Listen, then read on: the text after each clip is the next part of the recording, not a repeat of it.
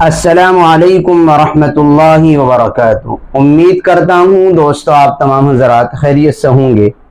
अल्लाह से दुआ है, जहाँ भी आप हैं, अल्लाह आपको खुशी और सलामती के साथ महफूज रखें।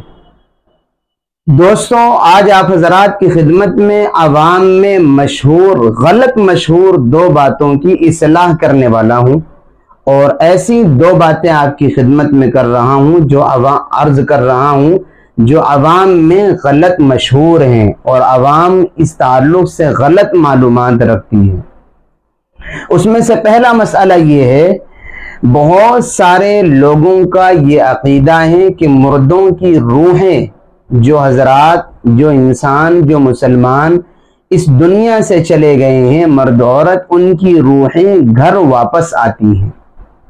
उनका ये अकीदा है कि रूहें घर वापस आती हैं। क्या ये सही है या नहीं? एक तो ये बात आपकी खिदमत में अर्ज़ करने वाला हूँ।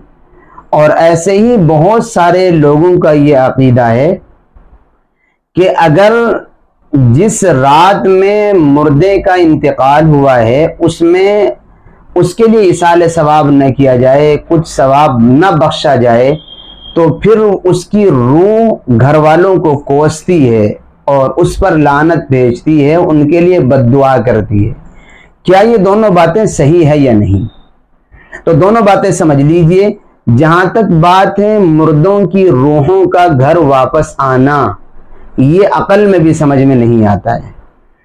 जो नेक लोग हैं, जो इस दुनिया से ईमान के साथ और अच्छे खात्मे के साथ गए हैं तो वो जन्नत जैसे आलीशान ठिकाने से इस बदतरीन और बुरी दुनिया में आने को क्यों गवारा करेंगे? तो नेक लोगों की रूहें तो इसलिए वापस नहीं आती। अल्लाह इस दुनिया से चले जाने के बाद उनको बेहतरीन आलम बरजख में ठिकाना देता है और कब्र में उनके लिए जन्नत की खिड़की को खोल दिया जाता है। तो जिनको आलम बरजख में, कब्र में जन्नत की नेमतें दी जा रही हों, वो इस बुरी दुनिया में दोबारा आने को क्यों गवारा करेंगी?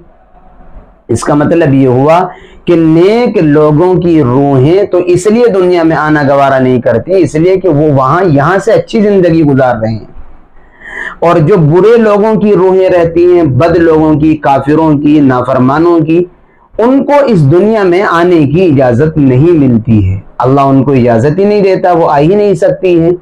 तो खुलासा ये हुआ कि दुनिया में रूहों को वापस आने का ख्याल और अकीदा रखना बेबुनियाद है।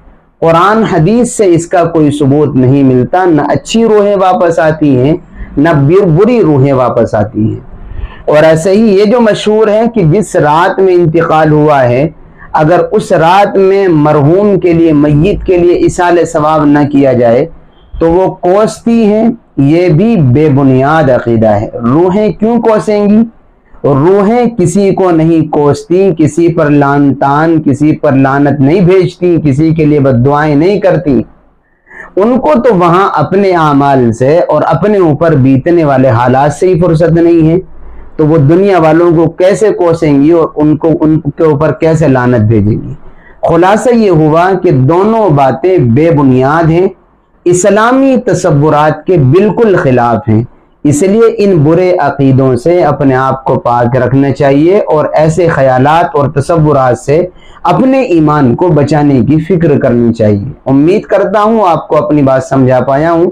दुआओं की दरख्वास्तें फिर मिलेंगे इन किसी नई और अच्छी वीडियो के साथ। असलकम वरहमल वर्का